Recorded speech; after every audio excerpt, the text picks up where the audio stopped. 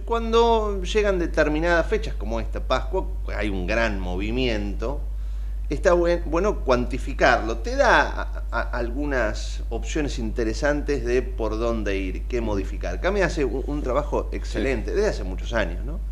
Con relación a los movimientos económicos durante todo el año, pero um, haciendo hincapié, por ejemplo, en lo que pasa en, Pascua, donde vos tenés un movimiento em, económico en cuanto a las ventas de determinados productos, y tenés mucho movimiento turístico también. Claro, turístico, sí, sí. y uno se resfría como yo, por ejemplo. Aparte, el cambio de clima te genera eso. Came también estudia eso. Lo tenemos a Salvador Femenia, es vocero de Came. Salvador, qué placer. Raúl y Gustavo te saludan. ¿Cómo va? Buen día. ¿Qué tal, Raúl y Gustavo? ¿Cómo están? Un placer hablar con ustedes. Muy bien, muy bien, muy bien. Estornudé, me, ah, me agarró alergia, viejo. ¿Qué va a ser? Yo, a mí me duele la, garganta y estuve engripado los cuatro días de Semana Santa. Ah, mira, no sos parte de, lo que, de los cálculos de Came. También, lo tenemos medidos porque este, verificamos que aumentó la venta en farmacias. Ah, bueno. ah, mira, ¿ves, ¿ves ahí está? ¿Ves que todo tiene una relación? ¿Ves que todo tiene un, porqué? A ver, dame el panorama de cómo, cómo ve Came, cómo ha analizado Came este movimiento turístico estos días de Pascua buenas noticias, malas, más o menos. No, obviamente son buenas noticias.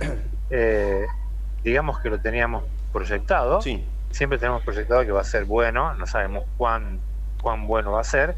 Ha sido muy bueno, eh, teniendo en cuenta si comparamos eh, con el año pasado, con la Semana Santa del año pasado, tengamos en cuenta que la Semana Santa es el fin de semana largo más importante como, como fecha turística, más bueno, religiosa, ¿no? Pero bueno, que lleva turismo, es el más importante del año. Se ha superado el del año pasado en gente y en términos reales en gasto. Teniendo en cuenta que el año, pasado estaba el previaje y este año no estuvo el previaje. Y teniendo en cuenta que el año pasado la situación económica a la salida de la pandemia, la gente tenía muchas más ganas que ahora y sin embargo se ha pronunciado, se ha acentuado la tendencia y el tema de la gente es hacer el esfuerzo para los fines de semana que estén disponibles, tratar de salir y eh, priorizar la salida, el esparcimiento, el viaje a cualquier otro gasto. Pues sabes que eh, eh, quizás te estoy preguntando más una mirada personal, pero es producto de lo que vienen viendo. ¿Vos crees que este fenómeno se da porque de alguna manera vaya uno a saber, la gente tiene más plata, no sé cómo, porque a mí en mi caso el sueldo cada vez me, alcanza para menos. Pero digo, no sé, con, con Raúl cuando teníamos 20, 30 años, juntábamos guita para determinados objetivos. Por ejemplo, que fundamentalmente comprarte tu departamento. Que uno juntaba para, no sé, para comprar un auto. Yo lo que noto ahora es que como la gente sabe que los objetivos grandes no va a llegar, gasta la que tiene. ¿no? Y por ejemplo se da un gusto de fin de semana, bueno, voy, me gasto, son cuatro días en la vida, hay que vivirlo. ¿Estoy muy equivocado que está pasando eso o, algo de razón tengo? Obviamente que se van generando factores concurrentes cuando este, el fenómeno persiste y se hace, se hace ya costumbre, ¿no? Eh, está un poco eso que decís, eh, se complementa porque antes, bueno, no llego al departamento, metido al auto, total. Ahora no se llega al auto, por ahí.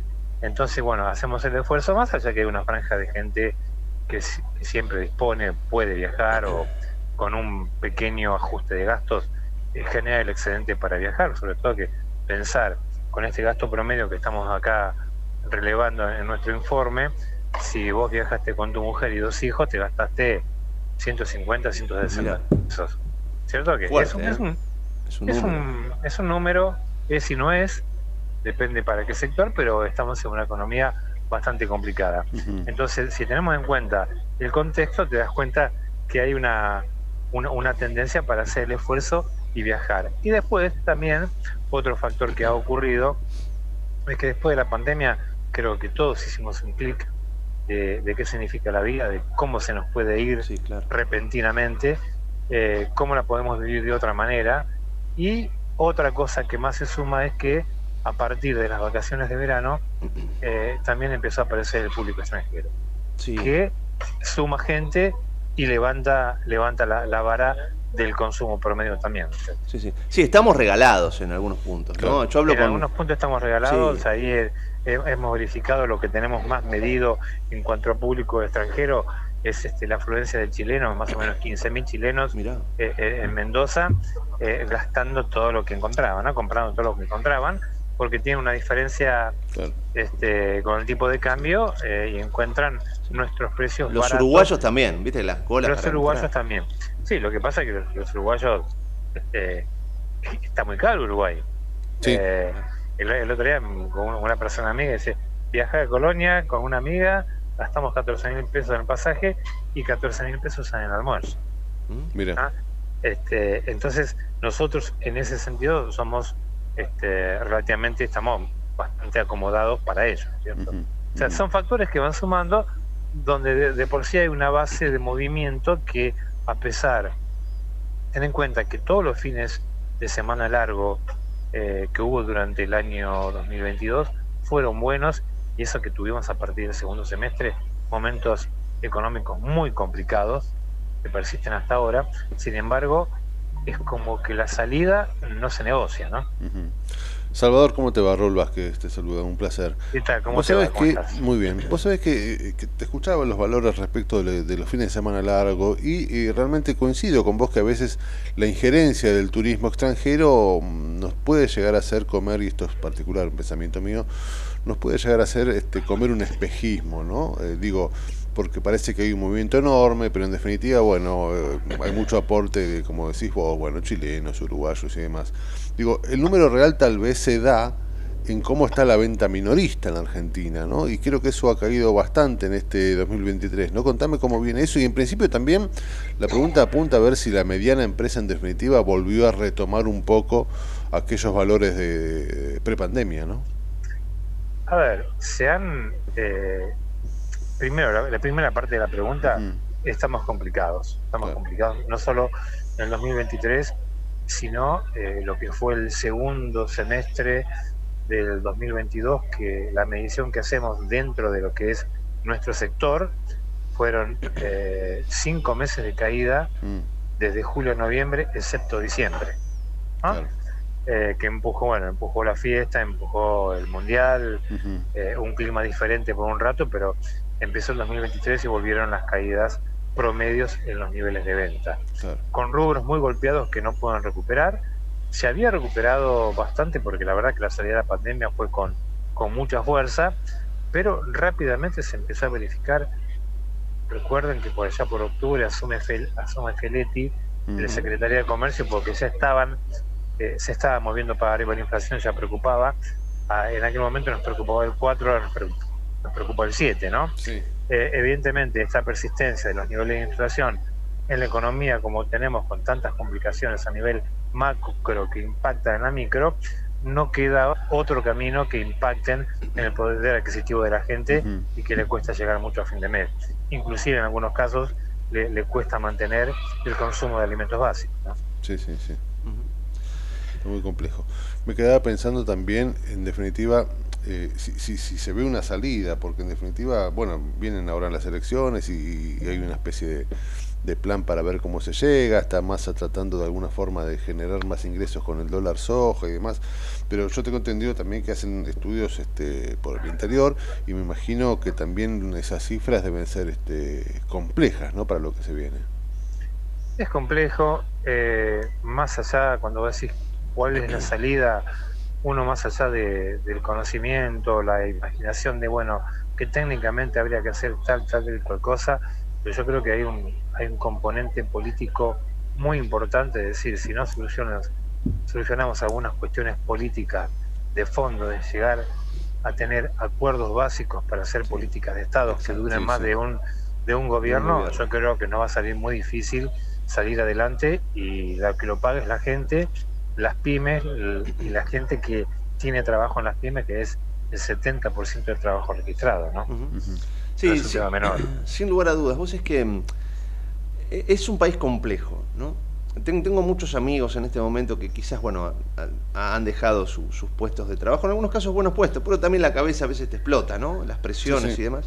Vos decís, bueno, me llevo una indemnización, ¿a, a- a qué me dedico? ¿Me, me armo una empresita? ¿Voy a un proyecto? Y la verdad, Salvador, la gente tiene mucho miedo, ¿viste? Porque siente que prácticamente... bala te de com- plata, claro, ¿viste? Voy a poner voy a apostar, mi, mi, socio que es el Estado, ¿me va a acompañar o lo único que va a hacer es ponerme una soga al cuello? Es, complejo. Es muy difícil y te agrego otro, factor, otra mirada, digamos, corriéndome un poquito, eh, también tiene que ver con el juicio laboral, ¿no? Del espejismo. Uy, hago un juicio y voy a cobrar tanto y después te das cuenta que esa plata no la cobras toda, que el abogado se lleva una parte. Eh, y después te das cuenta que con esa plata no haces nada. A ver, yo te pongo el ejemplo de, todo el espectro pyme, que es un modo de vida, ser pyme es un modo de vida, es un autoempleo, es un sustento. Nos cuesta, lo que hace mucho que está en el mercado, nos cuesta ver cómo proyectamos con estas condiciones, con un 7 de inflación mensual. Imaginarse el tipo que tiene un proyecto y pensar que tiene mucha plata y que en realidad para un proyecto no tiene nada, porque hay que contar la, la, espalda que hay que tener para que el proyecto madure, aún en condiciones normales, ¿no? Entonces este, la situación es muy complicada, muy complicada. No, es difícil en un país previsible, imagínate en la Argentina, ¿no? Eh, Obviamente. Salvador, ¿cuál es el rubro que más la está peleando, que más complicado está? No sé si tendrás ese dato, pero digo, a veces este, entendiendo cuál es el rubro que más crece o menos crece, también entendemos o nos hace una pintura del país, ¿no? Sí, el rubro este, que se lleva todas las palmas en cuanto a lo mal que le va es eh, textil e indumentaria. ¿no? Siempre. Eh, venimos de, un año con mm. muchas caídas y continúa la caída y no es que cae un 2, un 3, ¿eh? cae un 10, un 11, ah, un 12, un 15, un 18. Tiene sus cuestiones particulares lo que es textil, hay problemas con el importado, hay insumos que cuesta mucho conseguir, mm. se traslada una parte a los precios. Va valga la aclaración que cualquier rubro que tomes en una pyme no puede trasladar todos los costos que está teniendo, los mayores costos, los mayores eh, eh, valores de producto, no lo puede transmitir al trasladar al consumidor final, porque si no vendería menos de lo que se vende. Pero textil de inventario se lleva las palmas lejos y es una cuestión estructural y también de un componente impositivo si lo, si lo comparamos con otros otros países. Esta merma en ventas, me hablas de 10-15%, obviamente me imagino, es interanual, ¿no? Sí. Interanual, sí, interanual, pero tenemos algunas, algunas caídas de 3-4% este, intermensual.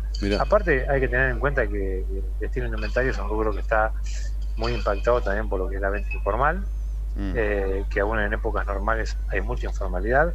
Si vos ves la venta, la venta callejera o en o en ferias hay mucha indumentaria, mucha indumentaria, y hay una parte de la clase media que no puede acceder a algo que le gusta y termina comprando otra calidad en otro lugar, en otro contexto. Sí, sí, sí, mucho de eso, es verdad, es verdad. Salvador, un placer como siempre charlar contigo y, analizar un poquito la economía de nuestro país. Bueno, muchas gracias por poder expresarme. Un abrazo para todos. Un abrazo grande. Salvador Femenia es el vocero del CAME la Confederación Argentina de la Mediana Empresa, muy vinculado por supuesto a todo lo que tiene que ver con las pymes. Y los relevamientos, como decíamos, interesantes para saber cómo vamos, por dónde vamos, qué nos está pasando, pero vos fíjate, cuando empezás a desmenuzar un poquito, ¿no? Ahí vos escuchás que el turismo de Semana Santa generó capaz que un 18% de aumento respecto al año pasado y, te pinta un país, ¿no? Ahora, rajás un poquito y te muestra que, la, por ejemplo, el rubro indumentaria bajó un 10, un 12% interanual. Eh, que la venta minorista ha caído mucho y bueno, te pinta otra realidad también, ¿no? Este, y muestra un poco de este país, ¿no? Que eh, cada vez son menos los que se pueden ir y son más los que merman sus compras, ¿no?